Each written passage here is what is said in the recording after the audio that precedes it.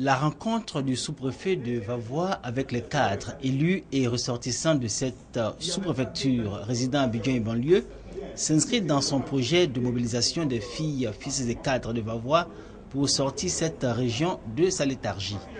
Konevakaba, sans détour, a relevé les défis qui se posent à cette localité et engagé cadres élus, filles et fils de Vavois à leurs responsabilités. Le sous-préfet a demandé que les cadres se mobilisent pour l'accompagner pour que euh, l'État puisse réfléchir et intervenir à. Au nombre des sujets de discussion, la cohésion intercommunautaire dans la sous-préfecture de Vavois, où vit un nombre important d'allogènes et d'allochtones, répartis dans les 112 villages qui composent la sous-préfecture, mais également la réconciliation et la paix, fermant, selon Konevakaba, du développement et voie d'accès au progrès des populations.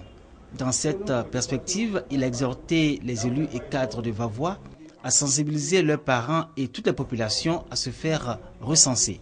Les chefs de village, les notables, se sont tous impliqués en logeant les agents, en leur donnant même la nourriture.